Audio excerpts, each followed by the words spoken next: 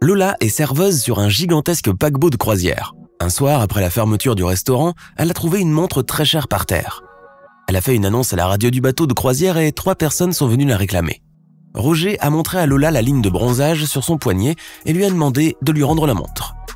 Marie a dit qu'elle se souvenait d'avoir fait tomber la montre près de l'entrée du restaurant et qu'elle voulait la récupérer.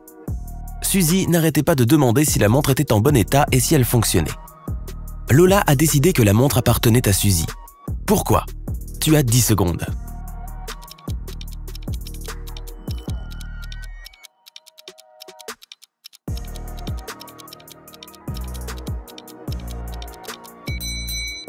La ligne de bronzage de Roger sur son poignet est trop petite en comparaison avec la montre que Lola a trouvée. Et si Marie se souvenait de l'endroit où elle avait fait tomber la montre, pourquoi ne l'avait-elle pas ramassée? Suzy sait combien sa montre est chère, et elle redoutait qu'elle ne soit cassée. Jenna et Michael faisaient la fête le soir d'Halloween. Michael dit à Jenna qu'elle n'oserait jamais se rendre dans un vieux château abandonné de l'autre côté de la ville. Une rumeur disait qu'un savant fou y vivait. Sans réfléchir, Jenna s'est mise à s'y diriger. Elle est arrivée au domaine à 3 heures du matin et la porte était ouverte. Lorsqu'elle est entrée, le scientifique fou s'est pointé et lui a dit J'ai une énigme pour toi. Si tu réponds correctement, tu es libre de partir. Sinon, je peux faire mes expériences scientifiques sur toi. Une sphère en a 3, un cercle en a 2 et un point en a 0. De quoi s'agit-il? Tu as 9 secondes pour le découvrir.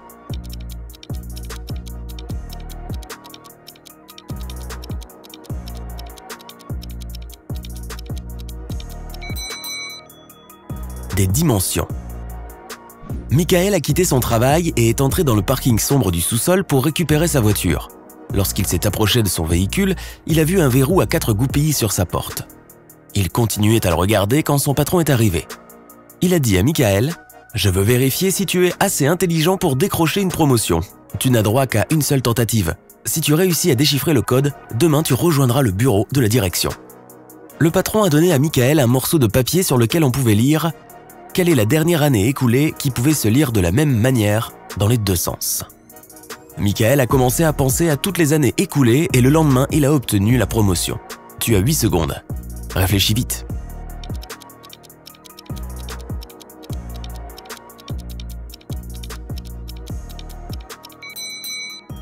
Il s'agit de 1961. Suzy est arrivée au studio de danse pour sa répétition où elle a trouvé son professeur inconscient sur le sol. À côté de lui, il y avait un vase cassé. Quelqu'un avait dû le frapper à la tête. Suzy a appelé l'inspecteur Alan sur les lieux et celui-ci a soupçonné trois personnes qui étaient entrées dans le studio ce jour-là. William, notre instructeur, a dit qu'il avait un cours privé d'urgence avec une célébrité et qu'il était parti avant que quelqu'un ne se présente au studio. Mason, un danseur professionnel, a déclaré avoir pris sa semaine de congé et être passé ce jour-là pour rendre les clés au professeur de danse parce qu'il les avait oubliées dans son sac en partant la veille. Sally, une danseuse, a dit qu'elle avait cours ce jour-là. Mais que quand elle était arrivée, elle n'avait vu personne par la fenêtre et avait supposé que le studio était fermé. L'inspecteur Alan a su exactement qui mentait. Tu as 7 secondes.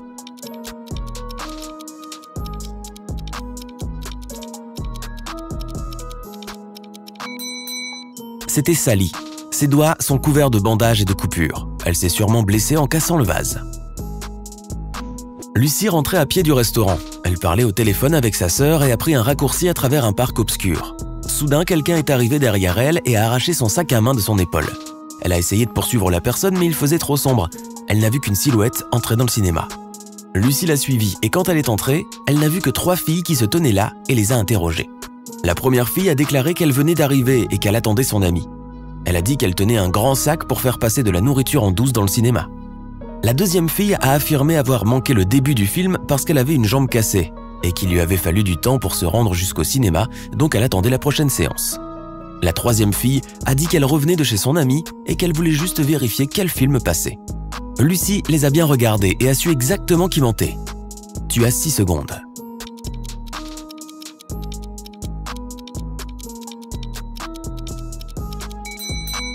C'était la fille avec une fracture de la jambe. Sa jambe gauche est supposément cassée, mais au lieu de tenir la béquille à gauche pour supporter son poids, elle l'a à droite. Alex était au parc. Il prenait des photos d'arbres et de fleurs pour un concours de photographie. Lorsqu'il a eu terminé, il a posé son appareil photo sur le banc et a essayé de démonter son équipement pour retourner à sa voiture. Soudain, il a entendu quelqu'un courir et son appareil photo a disparu.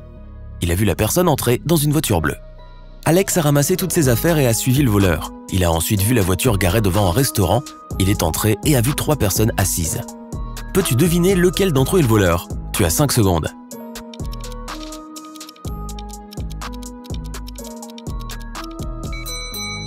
C'est celui de droite qui regarde le menu. Les autres sont en train de manger. Ils sont sans doute là depuis un moment. Sarah et Michel sont allés explorer un château abandonné. Lorsqu'elles sont entrées, la porte s'est refermée derrière elles et les lumières se sont allumées. Devant elles, trois portes sont apparues. Elles doivent trouver la bonne porte pour en sortir vivantes. Derrière la première porte, il y a un crocodile affamé qui n'a pas mangé depuis deux ans et demi. Derrière la deuxième porte, il y a de la lave provenant d'un volcan qui est entré en éruption deux semaines plus tôt.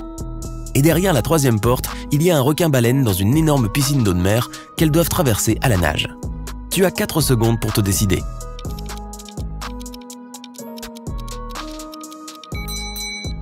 Les crocodiles peuvent rester sans nourriture pendant 3 ans et la lave peut rester chaude pendant des mois lorsqu'elle est bien isolée.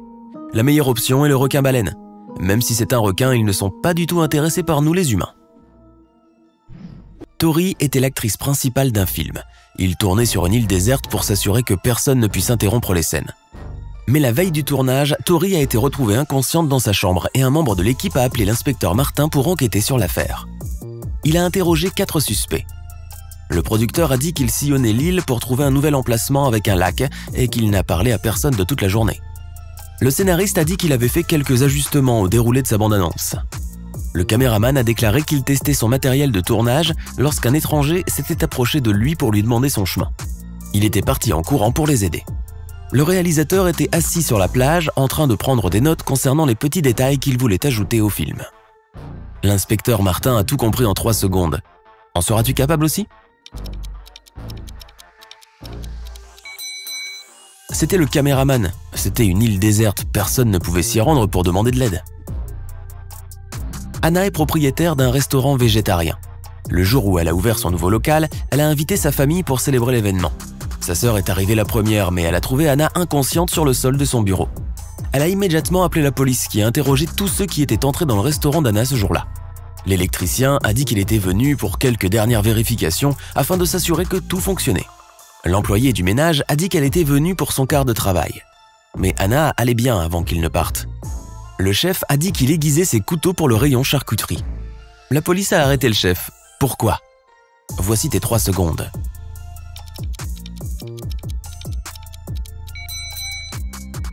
C'était un restaurant végétarien, il n'y a pas de rayon charcuterie.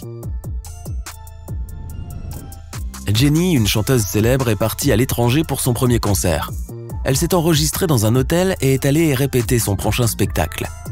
Lorsqu'elle est retournée dans sa chambre, elle a réalisé que tous ses bijoux avaient disparu et elle a appelé la police. Les inspecteurs ont vérifié les caméras et ont vu que personne n'avait quitté l'hôtel cette nuit-là. La personne qui a pris les bijoux était donc toujours à l'intérieur. Il n'y avait que trois personnes dans l'hôtel. Michael a dit qu'il ne pouvait pas dormir et qu'il avait passé toute la nuit dans le salon à lire. Jason, le directeur, a dit qu'il avait passé la nuit dans l'arrière-boutique à regarder la télévision parce que c'était calme. Margaret a dit qu'elle était allée à la piscine de l'hôtel pour nager seule. La police a su qui mentait. Tu as deux secondes. C'est Margaret. Les piscines des hôtels sont fermées la nuit pour des raisons de maintenance. Jason et sa femme sont millionnaires, ils ont trois fils et deux filles. Tous les enfants sont partis en camping ensemble et le couple a le week-end pour se détendre. Lorsqu'ils se sont réveillés le lendemain, tout leur argent avait été volé dans leur coffre-fort et ils ont appelé la police. Lorsque les agents se sont présentés, ils ont interrogé les trois personnes qui se trouvaient dans la maison ce matin-là. Le majordome a dit qu'il nettoyait la voiture après avoir conduit les enfants au camping. Le chef a dit qu'il était occupé pour préparer un énorme petit déjeuner pour la famille. L'employé de ménage a dit qu'il avait rapidement fini son travail ce jour-là et qu'il était parti tôt. La police a découvert qui mentait en une seconde. En serais-tu capable aussi? C'était le chef. Comme les enfants étaient partis, il ne pouvait pas préparer le petit déjeuner pour toute la famille.